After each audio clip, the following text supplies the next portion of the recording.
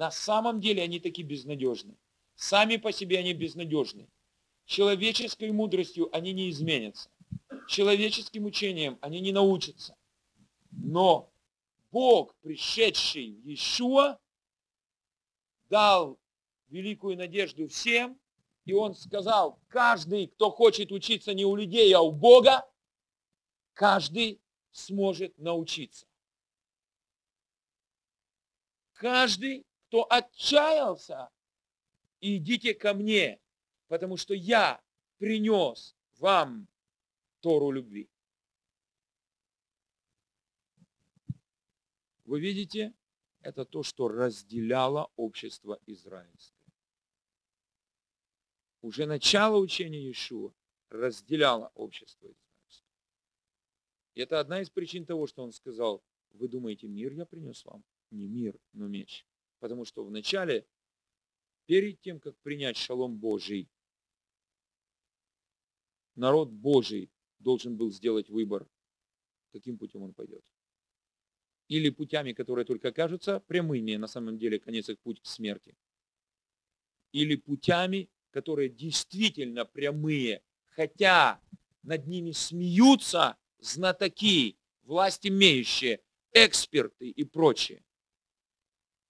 Второй путь непрестижный, второй путь связан даже с внешним, может быть связан с внешним позором. На втором пути ждут гонения, но именно второй путь, прямой путь к Богу. Это не могло не разделить Израиль. Это разделило Израиль. Вы помните пророчество Шимона праведного, когда он держал младенца Ишуа. Он на восстание многих в Израиле и на падение многих. Не только на восстание, а и на падение многих. Так и произошло. И опять же, я специально взял некоторые такие места, которые вызывают иногда недоумение. У меня в свое время это вызывало недоумение. Неужели Иешуа злорадствовал? Никогда. Ни в коем случае. Он просто славил Бога за то, что Бог дает шанс всем. Он просто славил Бога за то, что слава Божия она не для тех, кто гонится за человеческой славой и пытается ради человеческой славы удержаться у власти. Но слава Божья как раз для тех, которые этой славы человеческой не имеют и не считают себя ее достойными. Для тех, которых, возможно, отбрасывают в грязь, и у кого по понятиям славных нет надежды. Он славил Отца,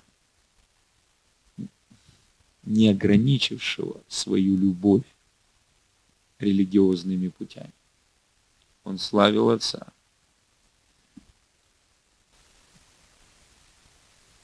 который открыл простой детский путь к нему. И это действительно выход на все времена для всех искренних верующих.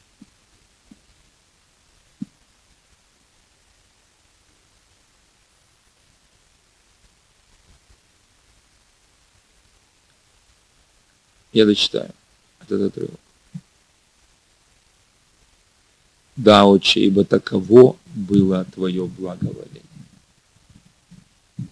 Не да, Отче, ибо таково, ибо таков был твой гнев. Не да, отче, ибо таков был твой суд, а да, отче, ибо таково было твое благоволение, ибо такова твоя добрая воля, которую я раскрываю, говорит еще. Здесь нет ничего плохого и злого по отношению к мудрецам, по отношению к священникам и раввинам. Потому что, скажите мне, пожалуйста, когда Бог повернулся к младенцам, Амгарец, не знающим и не ученый. Скажите, пожалуйста, действительно ли он закрыл доступ к себе священникам, фарисеям, раввинам и мудрецам? Нет, конечно. Вы помните, что многие из них потом пришли к настоящей иудейской вере через Иешуа. На самом деле, он продолжал стучаться в их сердца. Он просто не принял их порядка благовестия в Израиле, а затем их порядка благовестия для всего мира.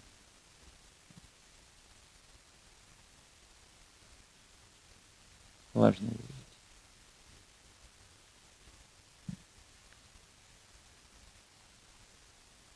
И вот его порядок, который описан в 27 стихе. Все предано мне Отцом моим, и никто не знает Сына, кроме Отца. И Отца не знает никто, кроме Сына, и кому Сын хочет открыть. Здесь заявление живого Бога. Здесь заявление вечного Божьего Сына здесь заявление Машеха и Господа. Все предано мне Отцом моим. Абсолютно ни один учитель не мог сказать такое. Моисей не мог сказать такое. Царь Давид не мог сказать.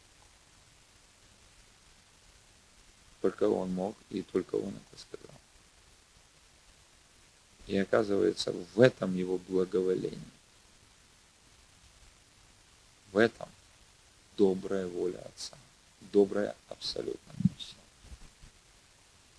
И теперь вопрос ко всем и каждому. Хочешь ли ты узнать Отца? Тебе придется узнать Сына. Вы представляете? Ты никогда не сможешь узнать Отца без Сына. То есть это на ранней стадии проповеди и учения Ишуа уже прозвучало. Он сам заявил это. Хочешь ли ты узнать Сына? Ты никогда не сможешь это сделать по своим религиозным понятиям. Ты должен получить откровение от Отца. Заметьте, сын, отец, сын, отец. Одна из тайн, которая скрыта здесь. Ты никогда не узнаешь Бога, пока не войдешь в семью Божию. Ты никогда не узнаешь Отца, пока не станешь его сыном. Никогда не узнаешь отца, пока он действительно не станет твоим отцом.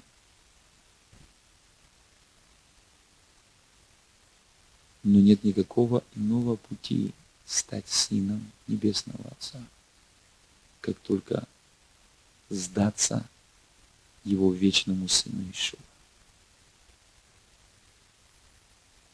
И именно сдаться сложив все свои представления к его ногам, сложив все свои верования к его ногам, сложив все свои предрассудки и условия к его ногам.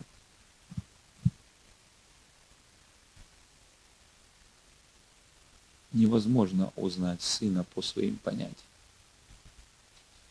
Только войдя в отношения между отцом и сыном ты сможешь стать учеником, который действительно научится.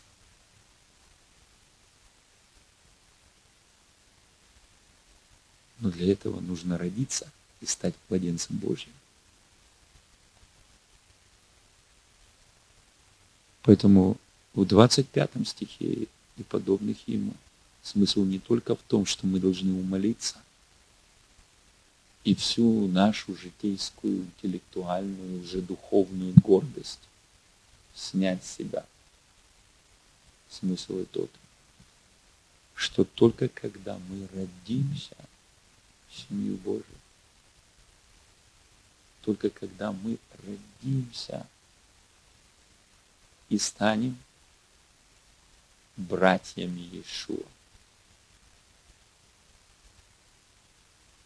тогда мы сможем познать истинное отцовство и истинное сыновство. Вот это условие. Вот это условие. Вот это условие.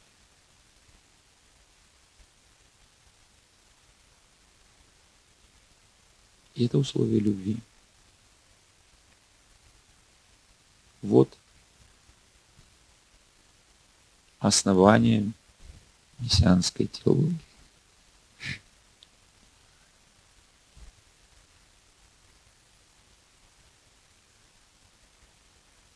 И рождение значит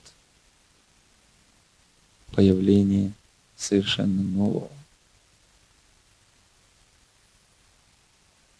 Значит, появление нового человека, новой личности. Кто бы ты ни был раньше, ты можешь родиться заново и обновиться Божьей любовью так, что ты уже не будешь старой тварью, старым творением. Но ты действительно станешь новым.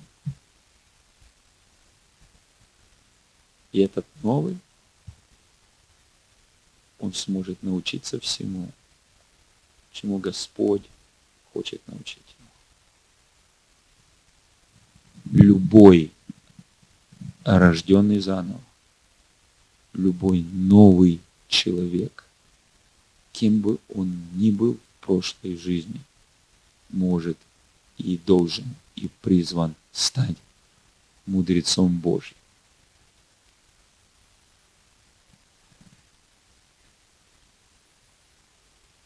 И самый неграмотный ученик, если он только начал учиться, если он только-только приступил к учению Господню. Если он действительно стал учеником, то есть стал младенцем Святого Духа, родился в Божью семью, стал сонаследником Иешуа, он уже имеет в себе великую мудрость Божию, он уже имеет в себе ум Машеха. И теперь его обучение принципиально не такое, как было до установления Нового Завета с Израилем. Тогда обучение было самый талантливый, самый духовный ученик иудей должен был приобретать знание, информацию извне. Но теперь полнота мудрости есть в нас уже изначально. В нас есть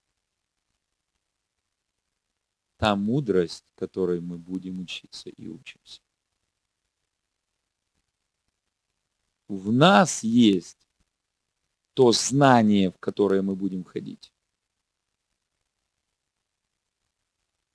Правильно? И более того, в нас заложен в потенциале весь процесс обучения, который будет совершать Бог в нас, через нас, к нам и от нас, если мы покоримся Ему как младенцы ничего не знающие, и начнем возрастать в его премудрости, которая будет подниматься изнутри нашего нового внутреннего человека. И для этого я приведу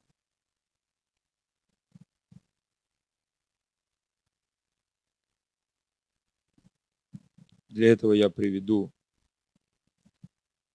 очень известное, которое вы все, конечно, помните, место из 1 Иоанна, из 2 главы,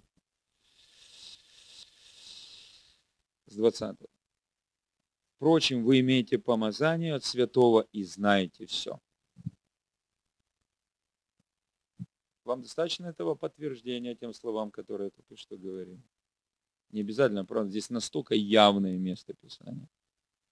Впрочем, вы имеете помазание от святого и знаете все.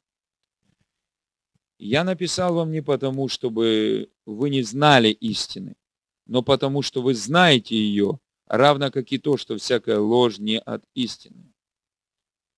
Кто лжец, если не тот, кто отвергает, что Иешуа есть Машех, это антихрист, отвергающий отца и сына. Правда?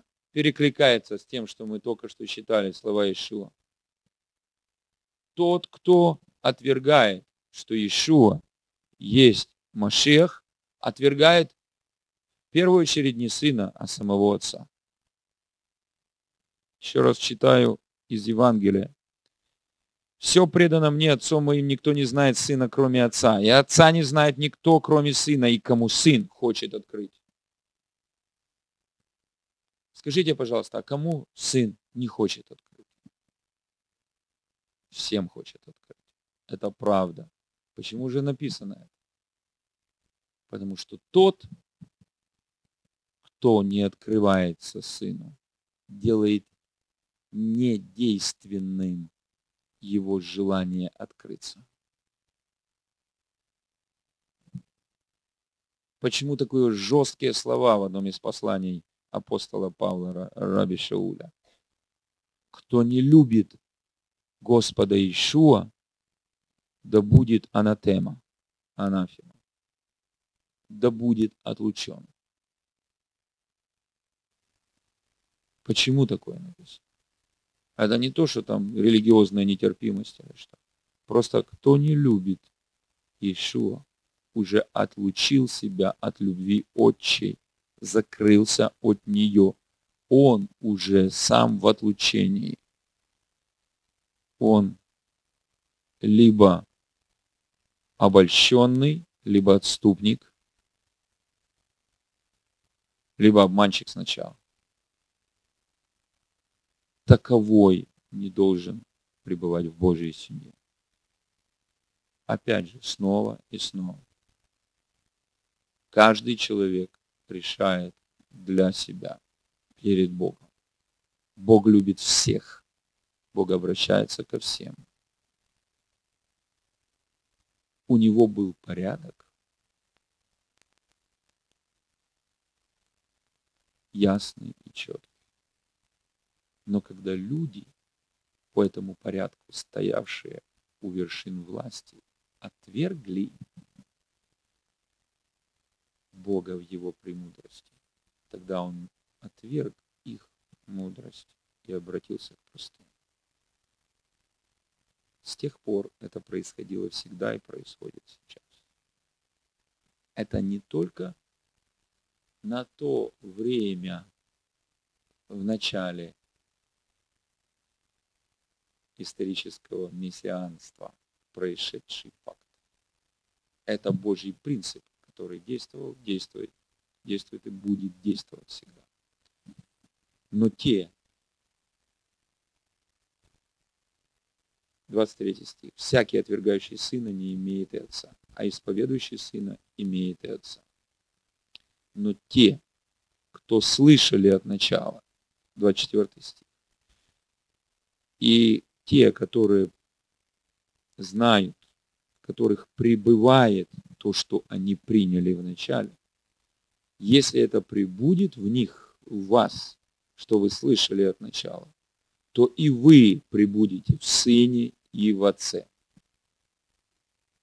Те, которые приняли, должны охранять то, что приняли, и развивать это, чтобы оно пребывало и прибывало. Это я уже от себя добавляю по-русски получается игра слов, и прибывала, то есть усиливалась, развивалась, возрастала, умножалась. И если это происходит, если вы прибудете в Слове Моем, вы помните, да? Если прибудете в Слове, в Слове Моем, которое пребывает в вас, то о чем не будете просить Отца Моего во имя Мое, будет вам все, о чем не попросите. Потому что в таком случае вы не будете просить от себя, потому что вы будете познавать все больше и лучше. Что желает Отец для вас, и будете просить от Него через меня к Нему. Как? В таком случае он не ответит. И обучение – это часть этого обетования Иешуа в Евангелии от Иоанна. Обетование же, 25 стих, который он обещал нам, есть жизнь вечная. Итак, первое и всегда первое, чему мы учимся и в чем мы возрастаем, это жизнь вечная в Боге Отце, которая открывается только через Сына Его Иешуа. Но эта жизнь вечная уже есть в нас. С первой минуты нашего рождения свыше мы все получаем ее. Она не что-то внешнее, к чему мы должны стремиться в будущем. Она то глубоко внутреннее, она сердцевина нашего нового существа, которое мы, познавая, раскрываем. Это я написал вам об обольщающих вас. Правда интересно? Столько прекрасного написано, при этом сказано о лжи. И говорится, это я написал вам об обольщающих вас. Апостол не только писал об обольщающих, он показывал, а как же правильно и что есть истина. Впрочем, помазание, которое вы получили от Него, в вас пребывает. Впрочем, помазание, которое вы получили от Него, в вас пребывает. И вы не имеете нужды, чтобы уж кто учил вас. Одно из самых странных мест Писания. Правда? Но здесь великое преимущество Нового Завета. Бога Израиля со всем своим народом и со всеми теми из всех народов, которые входят в завет Израиля с Богом. В них помазание, которое мы просто получаем от Бога. Оно приходит в нас с Иешуа, входящим в наше сердце. И когда оно в нас пребывает, мы не имеем нужды, чтобы кто учил нас но как само это помазание учит вас всему, и оно истинно и не ложно, то чему оно научило вас, в том пребывайте. Вот, вот, друзья мои, здесь описано то главное знание и то главное обучение, которое для всех одно – и здесь описан процесс этого обучения, и здесь понятно, о чем идет речь. Естественно, логический вопрос, так а зачем тогда апостол Иоанн пишет ими и учит их чему-то, если они ни в чем не имеют нужды? Апостол Иоанн пишет. Впрочем, вы имеете помазание святого и знаете все. Я, я написал вам не потому, чтобы вы не знали истины, но потому, что вы знаете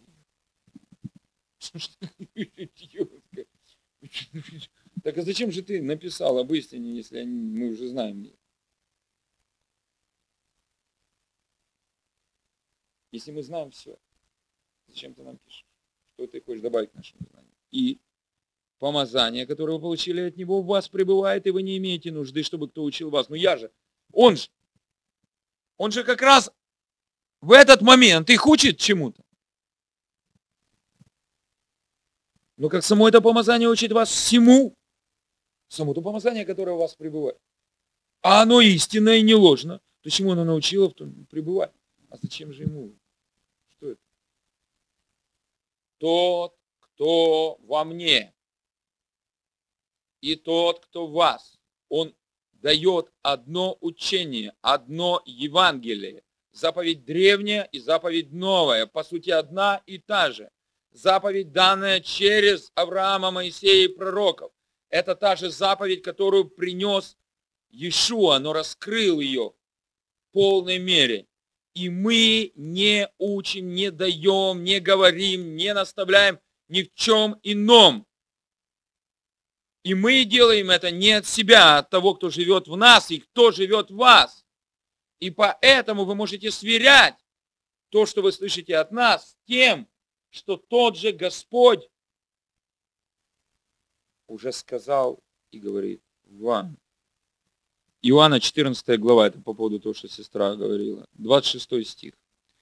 Утешитель же Дух Святой, который, которого пошлет Отец во имя Мое, научит вас всему и напомнит вам все, что я говорил вам. То есть функция его не только учить всему, но и напоминать то, что уже сказано. Значит, э, вот эта функция напоминания. Он как бы, видите, перед этим Иоанн говорит,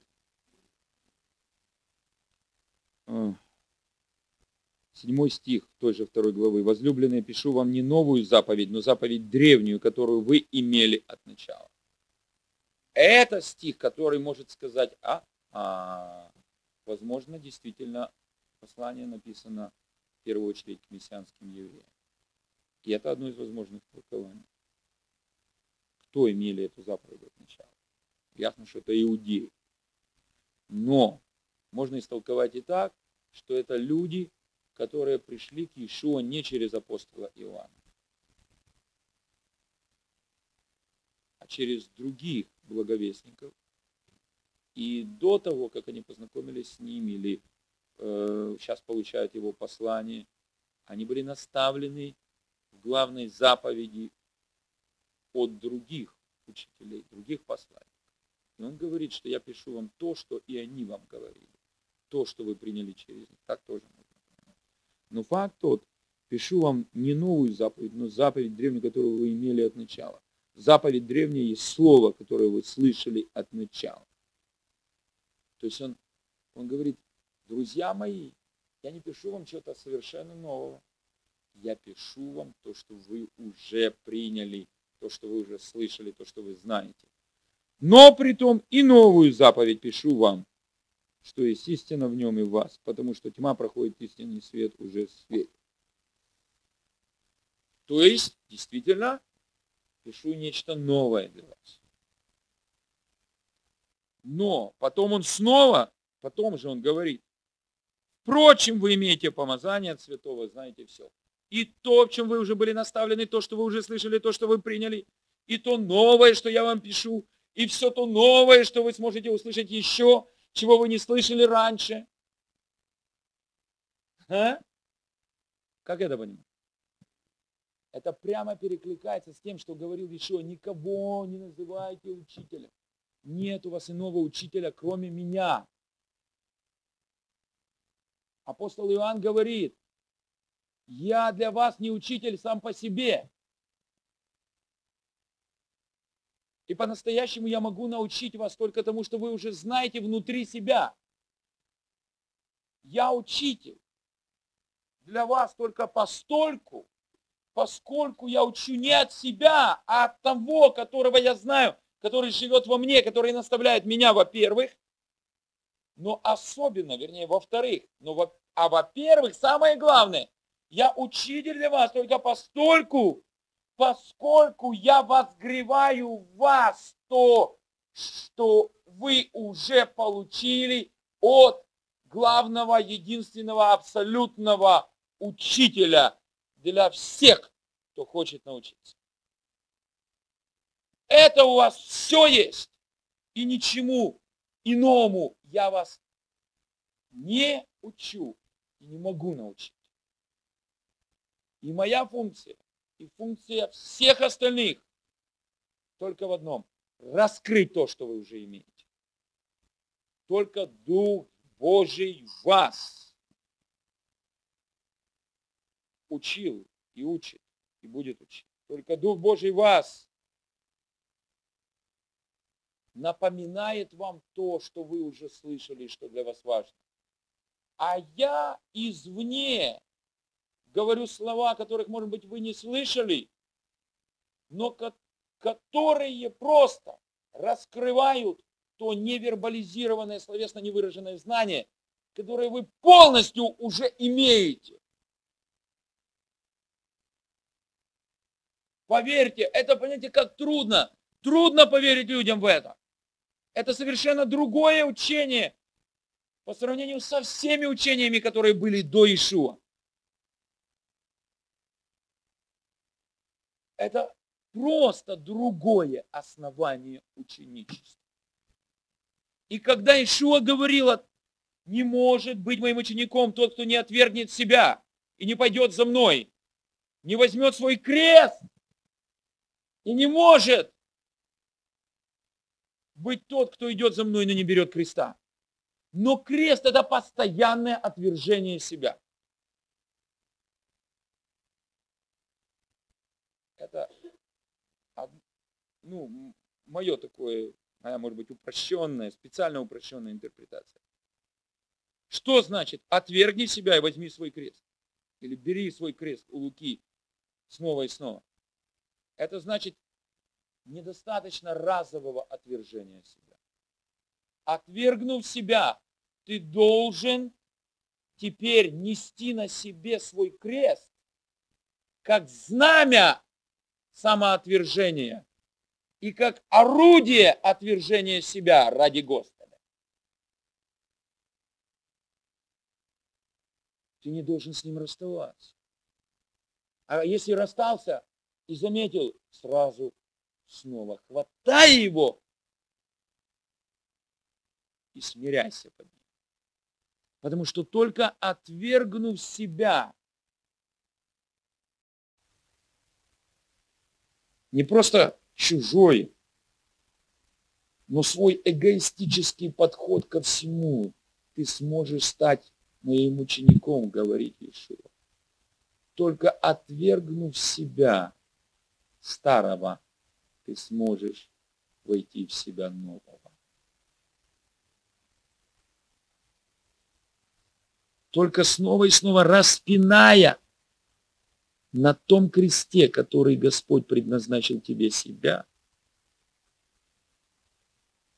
ты сможешь учиться у Него.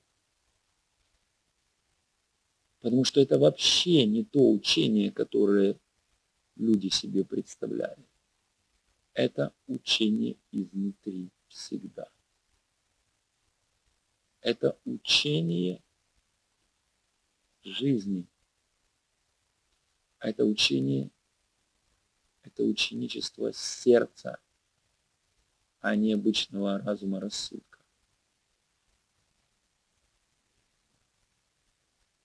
Как написано в другом месте, о сем бы судить духовно. А кто судит душевно, тому это закрыто, и он не может понять ничего.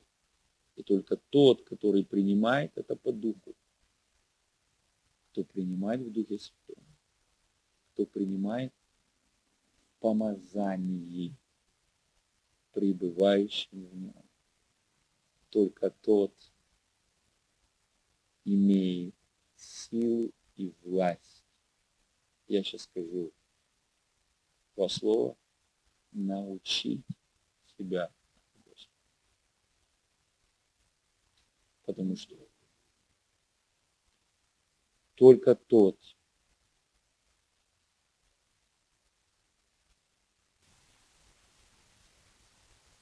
кто смотрит на все это по духу. Что это значит? Смотрит глазами Ишуа, а этот взгляд передает только Дух Божий. Только тот, который погружается в Дух Божий, значит самого Иешуа, в самого Отца. Только тот,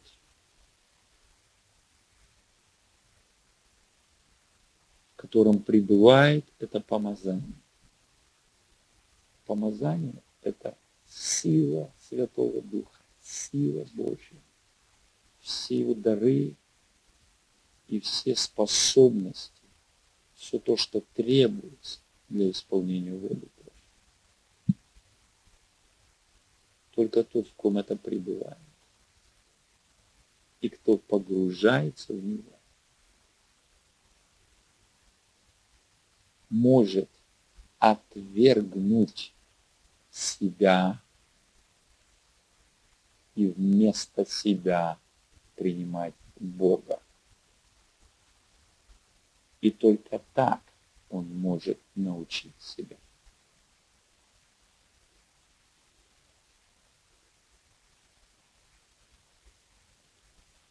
Слова научить себя я специально тут говорю, потому что Господь делает нас самих ответственными за наше обучение.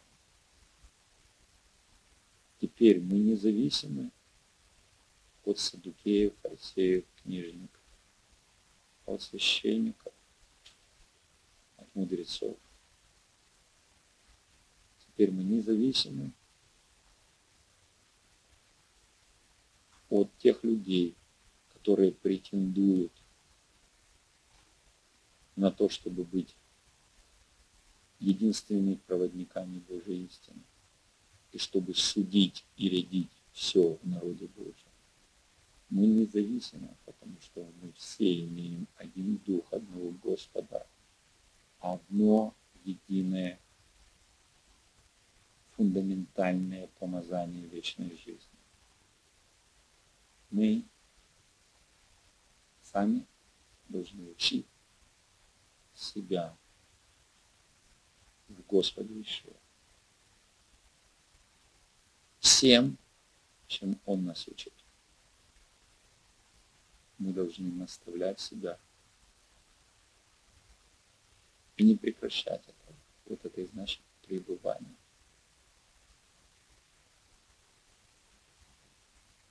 Не просто хранить, хранить принято, но пребывать в помазании, а помазание – это то, что действует. Пребывать в помазании – это значит применять это постоянно и течь в этом, и углубляться в этом, и черпать новое и новое и новое. Без сверхъестественной силы Божьей без личных семейных отношений с Ним. Это ученичество невозможно.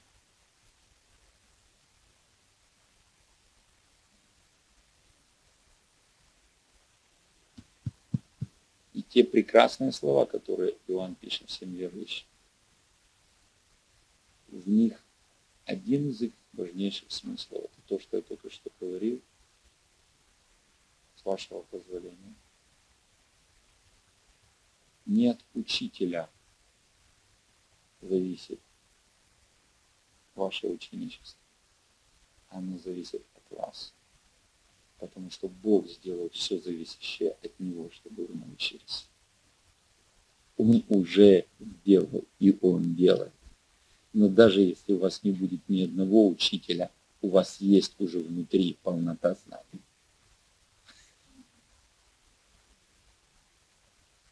И еще раз говорю, в конце первого века до рождения Мессии это э, было организовано. Затем следующий этап обучения, который можно приравнять к современным ешивам э, иудаизма, был уже только для избранных.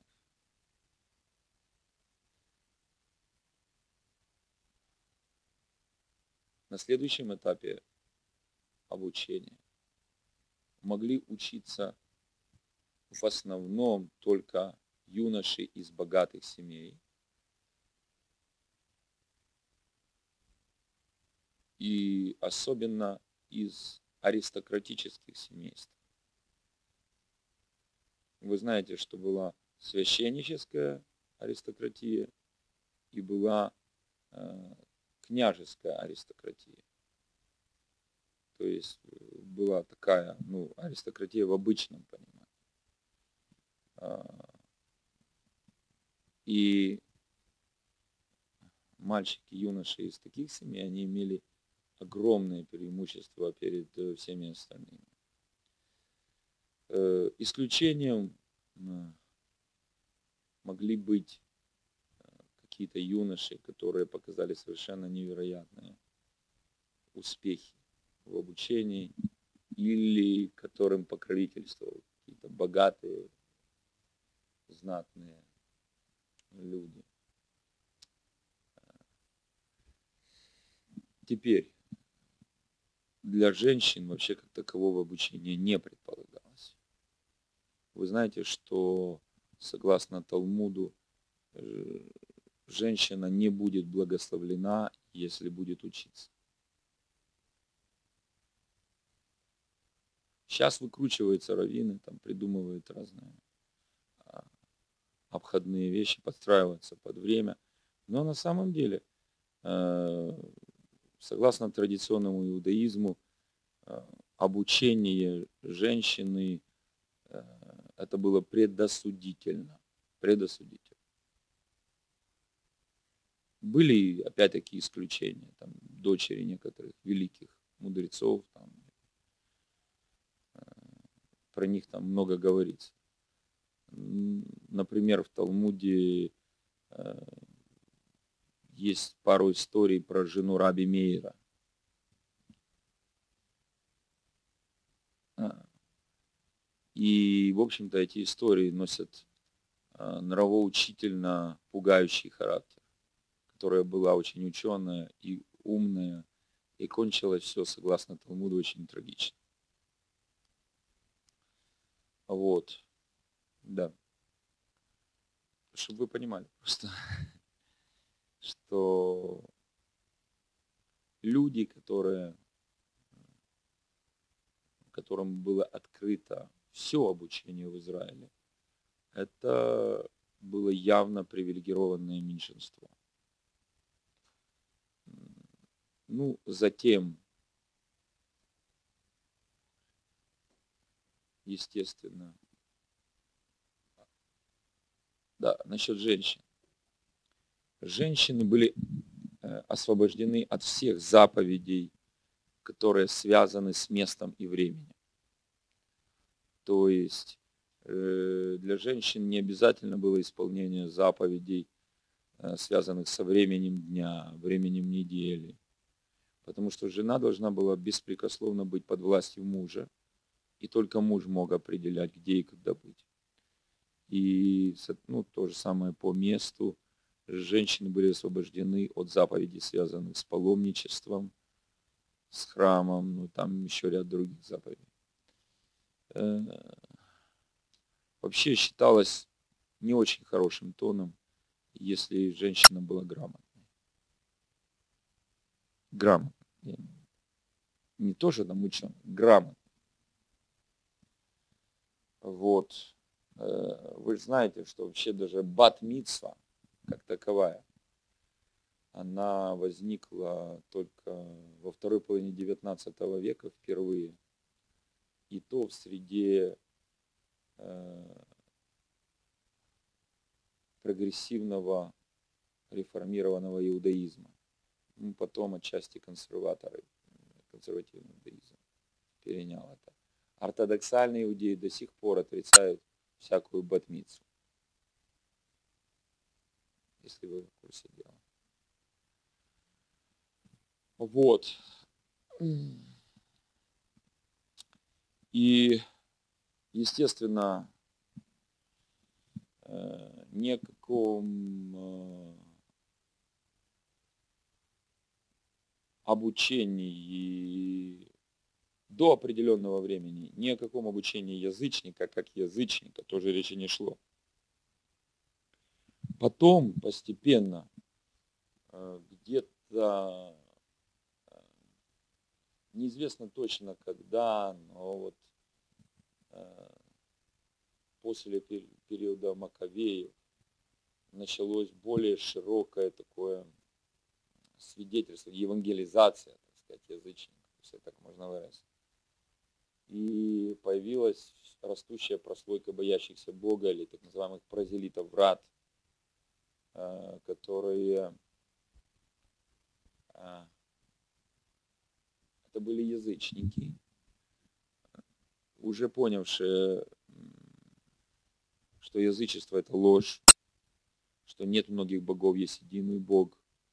И единый Бог это Бог Израиля, и что Святые Писания Израиля это книги Божьи, ну и вот, которые начали идти в этом направлении.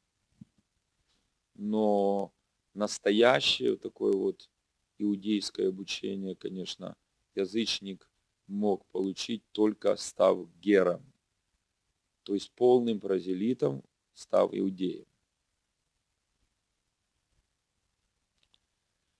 Э,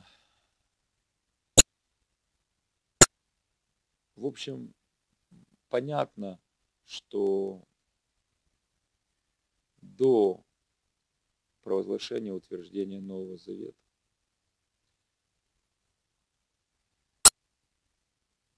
до этого обучение носило достаточно элитарный и ограниченный характер в Израиле.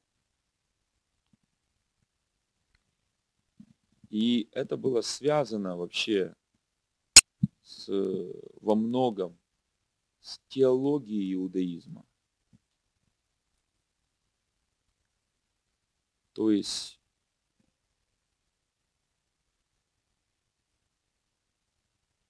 с важными моментами вероучения, с тем, как рассматривались разные слои населения, какую роль в народе должны были играть те или иные его представители, как оценивали Божий взгляд на разных людей, духовные вожди Израиля. И когда возникла первая мессианская община в Иерусалиме, то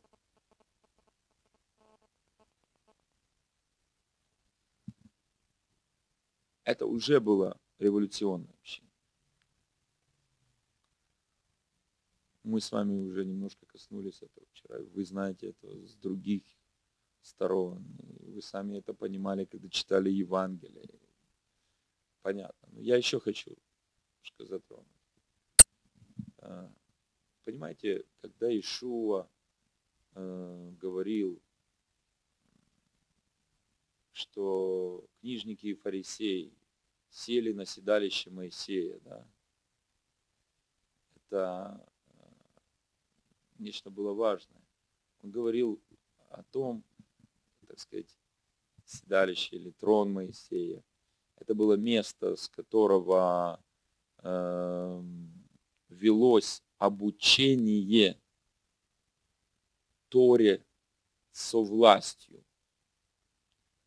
Это было то место, э, откуда сидевший представитель духовной власти провозглашал Слово Божие, именно как Слово Божие э, в жизнь народа.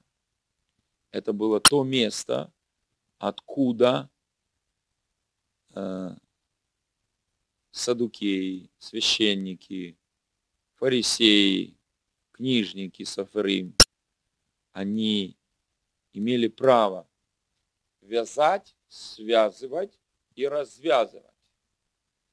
Они могли налагать бремена на народ, то есть давать такие комментарии или давать такие новые постановления, которые связывали и закрепощали иудеев новыми обязанностями и новыми ограничениями. А могли развязывать, то есть могли снимать те ограничения, которые на них были наложены, либо Торой, Словом Божьим, либо комментариями и постановлениями предшественников.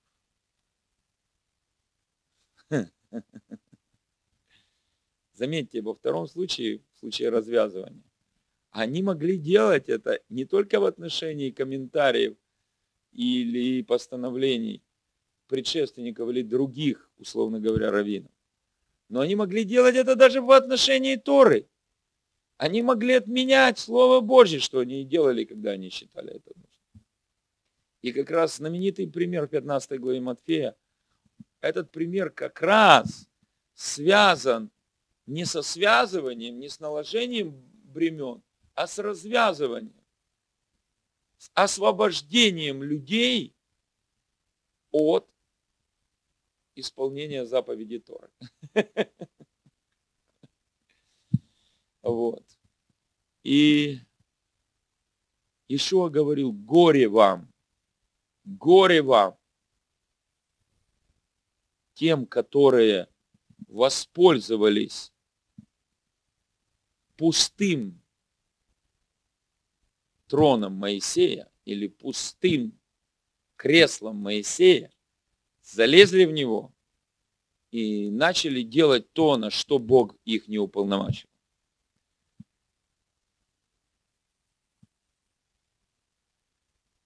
Вот. Но что любопытно, что дальше в этой главе 23 Ишуа говорит, а, все, что они говорят вам, делайте.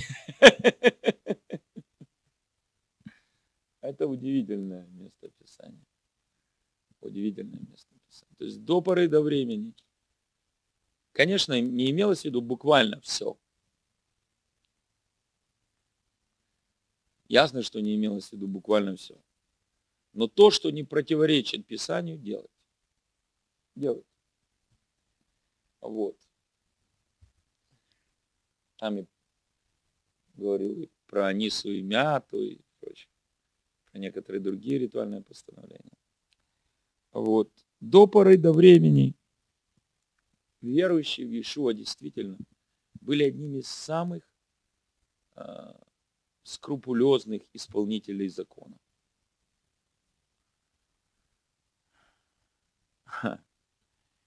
Но Ишуа говорит, вы знаете, когда первый из учеников получил великое откровение о нем от Отца, вы помните, что Ишуа ему сказал? Он сказал, блажен ты, Шимон, ибо не плоть и кровь, но Отец Небесный. Да. Это, кстати, имеет прямое отношение к тому, о чем мы с вами вчера говорили. Потому что блажен ты, Шимон, что не люди тебе об этом сказали. Не люди тебя научили этому. И не по своим естественным размышлениям и логическим выводам ты пришел к этому заключению. Но ты получил прямое личное откровение от Отца. Это как раз то, что говорил Иешуа, то, что мы вчера читали, что никто не знает Сына, как только тот, кому Отец откроет. И вот отец начал открывать. Вот отец начал открывать. Он начал открывать, кто такой сын воистину. А что дальше сказал Ишуа? Вы помните это, нет? Евангелие от Матфея, 18 глава.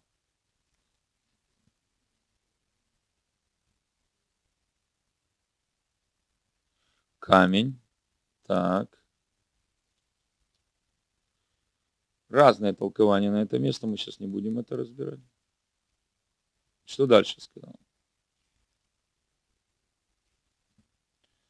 Отойди от меня, сатана, здорово.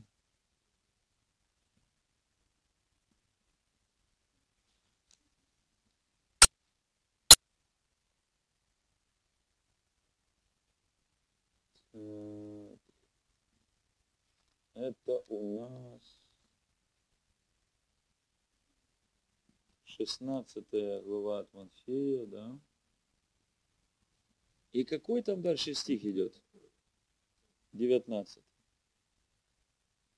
Что там написано?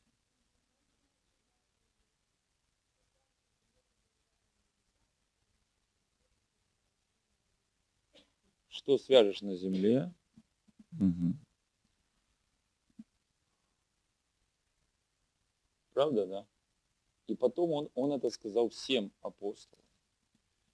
Значит, смотрите, друзья, Иешуа провозглашает новую духовную власть в Израиле.